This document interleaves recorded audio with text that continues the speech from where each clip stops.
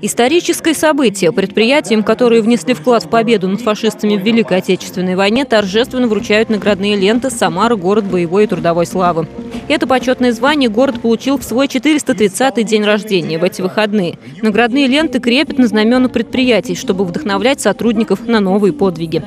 Это большая честь для нас, но мы должны всегда помнить, что это прежде всего заслуга предыдущих поколений, тех, кто еще в годы Великой Отечественной войны э, тылу ковал и на фронтах ковал эту победу. Для нас это большой аванс.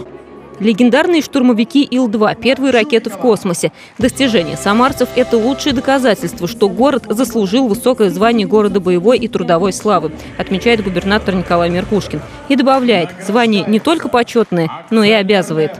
Конечно, и сегодня мы делаем все для того, чтобы Самара стала в строй тех городов, тех центров, которые задают тон во всем. И я уверен, мы сможем сделать.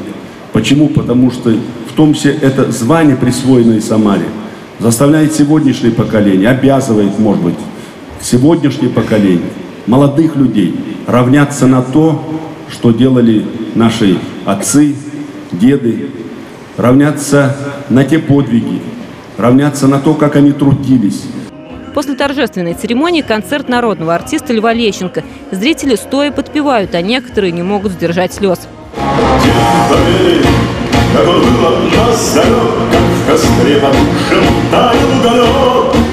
Марина Матвеевна, Сергей Баскин. События.